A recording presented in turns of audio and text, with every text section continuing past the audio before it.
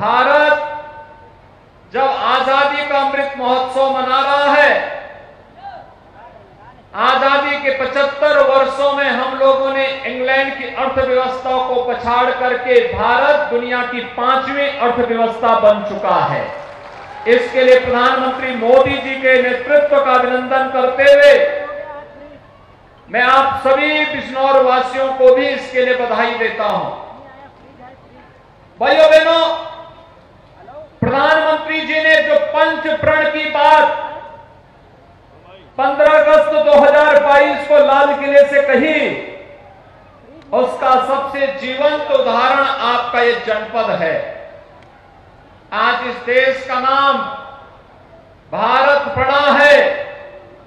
भारत नाम दुष्यंत पुत्र, शकुंतला पुत्र भरत के नाम पर, जिनका कर्म क्षेत्र यही बिजनौर जनपद रहा है, यही क्षेत्र है, और यहीं से भारत को पहचान देने वाला यह जनपद पौराणिक काल से भी और महाभारत काल में भी इस जनपद ने अपनी पहचान बनाई। महात्मा विदुर ने भी यहाँ माँ गंगा के तट पर अपनी कुटी बना करके उस कालखंड में हस्तिनापुर को आईना दिखाने का काम भी कर रहे थे। आज भी विदुर नीति, भारत के लिए एक मार्गदर्शक के रूप में कार्य करती है। और ये हमारे लिए गौरव की बात है कि वन जनपद उप मेडिकल कॉलेज की दिशा में जब हम अग्रसर हुए हैं महात्मा विदुर के नाम पर ही इस जनपद में हम लोग मेडिकल कॉलेज के निर्माण का कार्य भी संपन्न कर रहे हैं। भाइयों बहनों, अपनी इस विरासत पर हम सबको गौरव की अनुभूति करनी चाहिए। विरासत को विस्मृत करके कोई समाज कभी आगे नहीं बढ़ सकता। अतीत की गलतियों का परिमार्जन करना लेकिन अतीत की गौरवशाली क्षणों से भी प्रेरणा प्राप्त करते हुए आगे बढ़ने के लिए निरंतर प्रयास करना और इस दिशा में जब भी कार्यक्रम होंगे तो समाज कभी पिछड़ नहीं सकता, हमेशा आगे बढ़ेगा। और आज उन्हीं संभावनाओं को लेकर के आज जनपद बिजनौर में हम सब आए हुए हैं। भाइयों बहनों जनपद में मुझे आज यहाँ पर मालन नदी को भी पुनरुद्धार कार्य के साथ जोड़ते हुए मैंने देखा है। भारत की नदी संस्कृति, भारत की सभ्यता और संस्कृति की प्रतीक है। माँ गंगा भारत की नदी संस्कृति की प्रतीक है।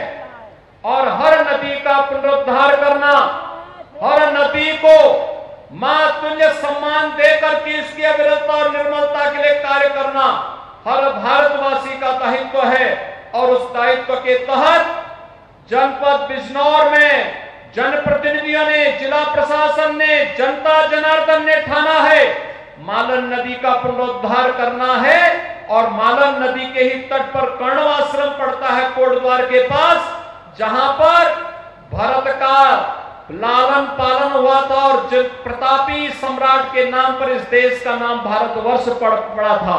भाइयों बहनों, उसी परंपरा का साक्षी बनने का अवसर हम सबको प्राप्त हो रहा है।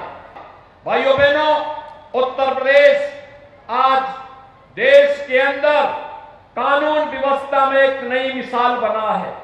कभी उत्तर प्रदेश दंगों के लिए जाना जाता था, रोज दंगा होता था विकास बाधित होता था, कोई प्रदेश में आना नहीं चाहता था।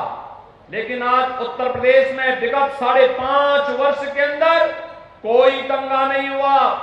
एनसीआरबी ने भी हाल ही में अपनी रिपोर्ट जारी की और रिपोर्ट के अनुसार कहा गया, उत्तर प्रदेश देश का एक ऐसा राज्य बन गया है जिसमें पाँच वर्ष में कोई दंगा नहीं हुआ दंगा मुक्त उत्तर प्रदेश बन चुका है, अपराध मुक्त उत्तर प्रदेश बन चुका है। परिणाम है, निवेश आ रहा है। परिणाम है, रोज़गार का सृजन हो रहा है। आज उत्तर प्रदेश विकास के बारे में सोच रहा है। उत्तर प्रदेश के अंदर हाईवे बन रहे हैं एक्सप्रेस वे बन रहे हैं, एयरपोर्ट बन रहे हैं। One district, one medical college की दिशा में उत्तर प्रदेश कार्य कर रहा है। और हम लोगों ने भी तय किया है कि हम हर नागरिक को सुरक्षा देंगे। लेकिन अगर किसी ने सुरक्षा में सेंध लगाने का कार्य किया तो अपराध और अपराधियों के प्रति ज़ीरो टॉलरेंस की नीति के तहत सरकार कार्य करेगी और उसके तहत उत्तर प्रदेश मजबूती के साथ आगे बढ़ा है। आज उसके परिणाम हम सबके सामने आए हैं। बिजनौर जनपद, मुझे लगता है कि उत्तर प्रदेश के ये वे जनपद हैं जो बहुत दूर है राजधानी लखनऊ से दूर होने के बावजूद चुपचाप विकास की प्रक्रिया के साथ जुड़ करके अपनी पौराणिक और ऐतिहासिक पहचान को आगे बढ़ाने का कार्य कर रहे हैं। और आज इसीलिए मैंने भी तय किया कि मैं बिजनौर जनपद में ही रहूँगा। और बिजनौर जनपद में रुक करके यहाँ के समग्र विकास की रूपरेखा, यहाँ के जनप्रतिनिधियों के साथ, यहाँ के प्रशासन के साथ, यहाँ के विभिन्न संगठनों के साथ बैठ करके उस रूपरेखा को आगे बढ़ाने का कार्य करेंगे। चाहे यहाँ के चीनी मिलों के पुनरुद्धार का कार्य हो, चाहे वो बिजनौर में पीएससी की एक नई बटालियन की स्थापना का कार्य हो, चाहे वहाँ पर शिक्षा हो, उद्योग हो वन डिस्ट्रिक्ट वन प्रोडक्ट के अंतर्गत एमएसएमई के अंतर्गत, उन परियोजनाओं को आगे बढ़ाने का कार्य हो, इन सबको प्राथमिकता के आधार पर आगे बढ़ाने का कार्य राज्य सरकार करेगी। और मैं उसी अभियान के क्रम में आज इस अवसर पर आपने दो बार से ही आप यहाँ इंतज़ार कर रहे हैं।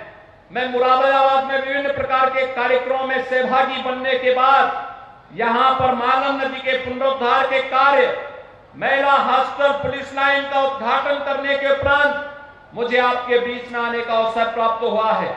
मैं इस अवसर पर दो करोड़ रुपए की लागत की विभिन्न परियोजनाओं के लिए आप सभी बिजनौर के भाइयों बहनों को हृदय से बधाई देता हूँ, अपनी शुभकामनाएँ देता हूँ और आप सबको आश्वस्त करता हूँ कि बिजनौर का समग्र विकास डबल इंजन सरकार की प्राथमिकता है। बिजनौर के नौजवानों को रोज़गार उपलब्ध कराना इस सरकार की प्राथमिकता का हिस्सा है। सरकार ने तय किया है, हम एक मैपिंग करा रहे हैं। हर परिवार का। जिस परिवार को अब तक नौकरी, रोज़गार नहीं मिला है, राज्य सरकार उन्हें नौकरी और रोज़गार के साथ जोड़ने के बड़े कार्यक्रम को आगे बढ़ाना चाहती है। और उस कार्यक्रम के तहत भी मैं आज आपके जनपद बिजनौर में आया हूँ।